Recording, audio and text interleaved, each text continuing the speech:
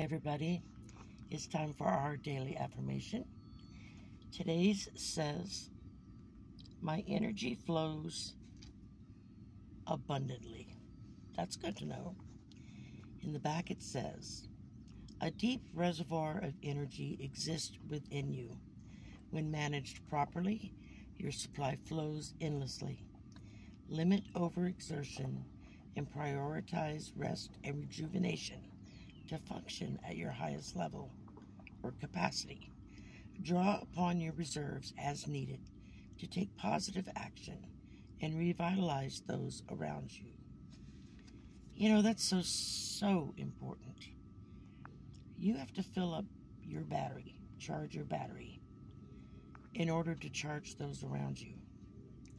Because you don't want to be an energy vampire and drain everyone around you. That's not any fun. Not for you, not for them. So it's important to keep yourself grounded, keep yourself rested, keep yourself hydrated. Just all together, keep yourself feeling charged and able to handle whatever comes your way.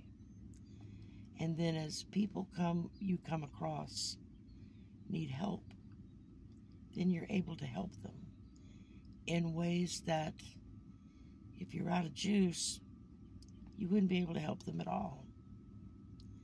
So get grounded, get hydrated, get charged up, and go out in the world and be an ever ready battery. Bye for now.